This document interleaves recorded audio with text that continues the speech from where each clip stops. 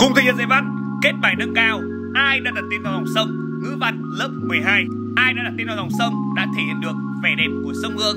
Qua đó, tác giả ca ngợi dòng sông Hương và bộc lộ tình yêu tha thiết, sâu lắng với xứ Huế.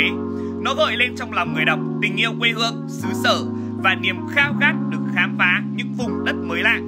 Tác phẩm được viết dưới dạng bút ký thiên về thể loại tùy bút đã thể hiện được những nét đặc sắc về nghệ thuật trong lối viết ký của Hoàng Phủ Ngọc Tường.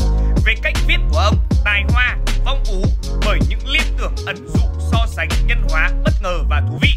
Ông đã dệt lên những trang văn đẹp bởi kho từ vựng phong phú, uyển chuyển, giàu hình ảnh, kết hợp linh hoạt giữa kể và tả, làm nổi bật vẻ đẹp của Hương Giang, vẻ đẹp riêng của xứ Huế, chất trí tuệ, chất thơ kết hợp hài hòa với kiến thức phong phú về triết học, văn hóa, lịch sử địa lý được thể hiện trong tác phẩm tạo nên một phong cách nghệ thuật đặc sắc.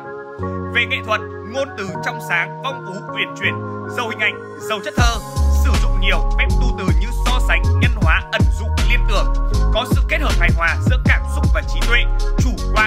quan. Về mặt nội dung, bài ký ca ngợi dòng sông Hương và rộng hơn là vùng đất cố đô Huế, đẹp thơ mộng, hữu tình, ca ngợi lịch sử vẻ vang của nhân dân Huế, ca ngợi văn hóa và tâm hồn của người Huế. Tác giả coi sông Hương là biểu tượng cho tất cả những gì là vẻ đẹp về cảnh và người của mảnh đất đế đô này. Bài ký chứng tỏ sự gắn bó máu thịt và tình yêu thiết tha với Huế, một vốn hiểu biết sâu sắc về nền văn hóa mảnh đất cố đô của chính tác giả. Chúc các em thành công!